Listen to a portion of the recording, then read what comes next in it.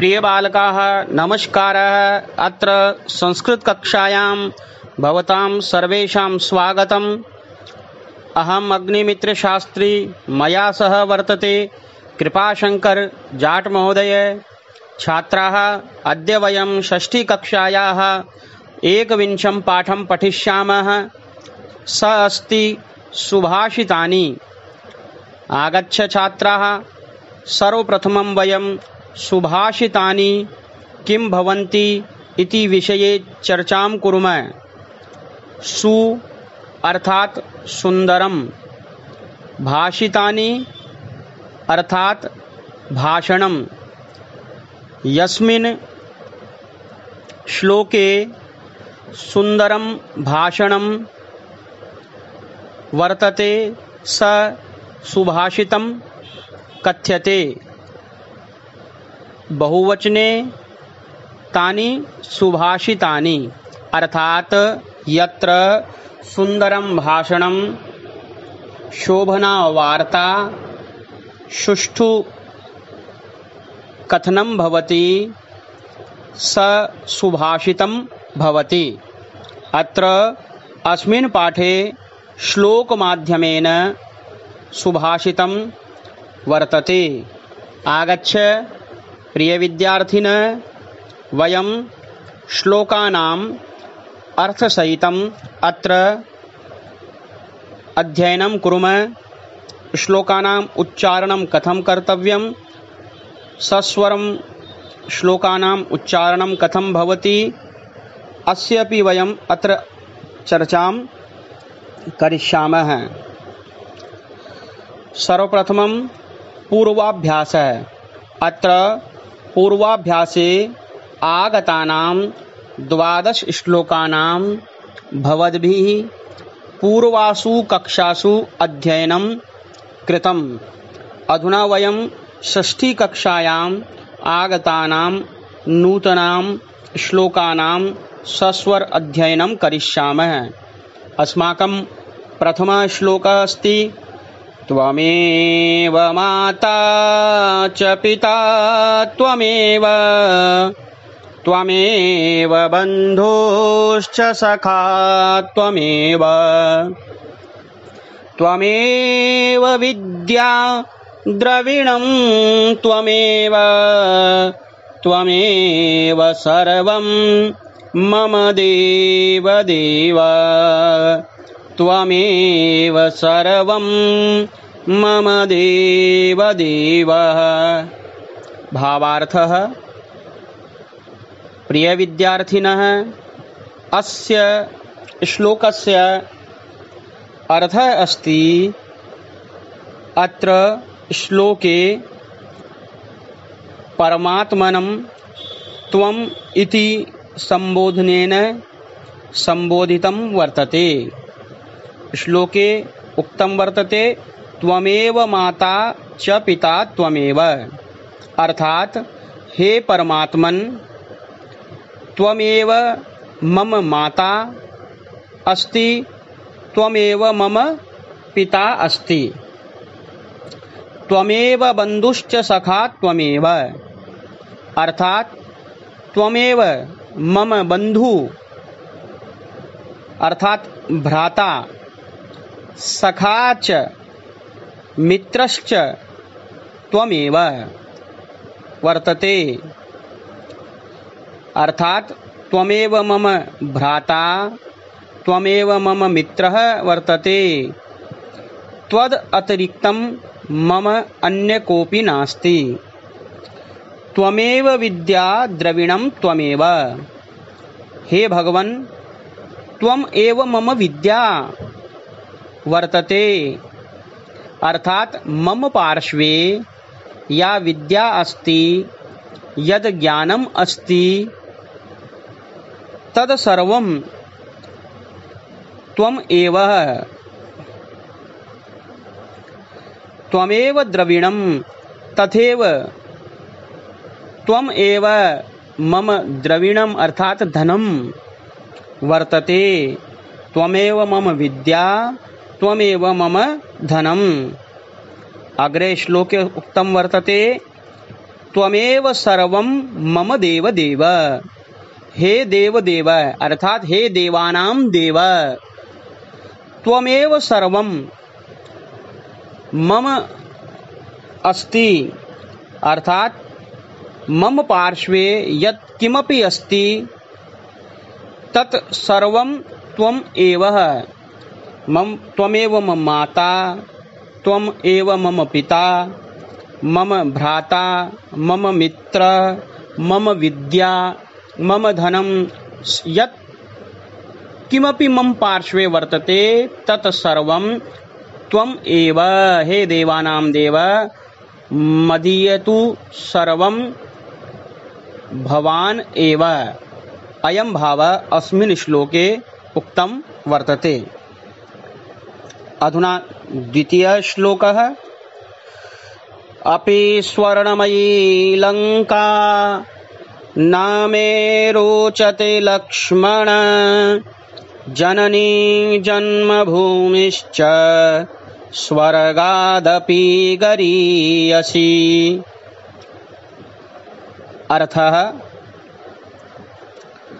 अस्मिन् श्लोके भगवान राम स्वकीयम् अनुजं लक्ष्मणं कथयति यत् हे लक्ष्मण, यद्यपि लंका स्वर्णमयी अस्ति, स्वर्णनिर्मिता अस्ति, न मे रोचते। लक्ष्मण, तथापि हे लक्ष्मण एषा लंका, मह्यम न रोचते। जननी जन्मभूमिश्च स्वर्गादपि गरीयसी। यतो ही जननी अर्थात माता, जन्मभूमि अर्थात मातृभूमि, स्वर्गादपि गरीयसी। स्वर्गात अपि गरीयसी, श्रेष्ठतम भवति। स्वर्णमयी लंका, अर्थात यद्यपि लंका स्वर्णमयी वर्तते, तथापि लक्ष्मण एषा लंका मह्यम न रोचते, मम कृते तु मम माता, मम जन्मभूमि एव श्रेष्ठा वर्तते। अतः जननी जन्मभूमिश्च, माता मातृभूमिश्च स्वर्गादपि श्रेष्ठतरी भवति। अयं भाव अस्मिन् श्लोके प्रकटितं वर्तते। आगच्छ। अधुना वयम् अग्रिमं श्लोकं पठामः। भुक्त्वा तृणानि शुष्कानि, पीत्वा तोयं जलाशयात्। दुग्धं यच्छन्ति लोकेभ्यो, धेनवो लोकमातरः। प्रिय छात्राः अस्मिन् श्लोके धेनूनाम् अर्थात् गवां महत्त्वविषये वर्णितं वर्तते। अत्र उक्तं वर्तते यत् धेनवः, गावः, लोकमातरः, अस्य संसारस्य मातरः सन्ति। भुक्त्वा तृणानि शुष्कानि। अर्थात गावः शुष्कानि, नीरसानि, तृणानि, भुक्त्वा खादित्वा, पीत्वा तोयं जलाशयात्, तथा च जलाशयात् सरोवरात्। तोयं जलम, पीत्वा दुग्धम यच्छन्ति लोकेभ्य लोकेभ्य, जनेभ्य दुग्धम ददति। वस्तुतः अस्मात् कारणात् धेनवः, गावः, लोकमातरः अस्य संसारस्य मातरः सन्ति। अस्य अयं भाव, गावः तृणानि खादित्वा, जलं पीत्वा, अमृतस्वरूपं दुग्धम् अस्मभ्य ददति। यथा माता निस्वार्थ भावनया स्वपुत्रस्य पालनं करोति, तथैव गावः अपि निस्वार्थ भावनया यत्किञ्चिदपि खादित्वा, यत्किञ्चिदपि पीत्वा अस्माकं कृते अमृतसदृशं दुग्धं यच्छन्ति। अतः अस्मात् एव कारणात् एता गावः सर्वेषां लोकानां मातरः सन्ति। माता इव वर्तते। अस्तु। अस्माकम् अग्रिमः श्लोकः वर्तते, प्रिय छात्राः। परोपकाराय फलन्ति वृक्षा। परोपकाराय वहन्ति नद्यः। परोपकाराय दुहन्ति गावः।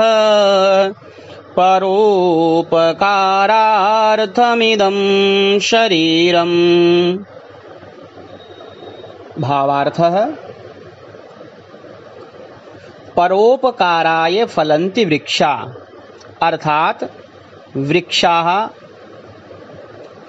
परोपकाराय। अन्येषां हिताय। फलन्ति। फलयुक्ता भवन्ति। परोपकाराय वहन्ति नद्य। तथैव नद्यः सरितः। परोपकाराय अन्येषां हिताय।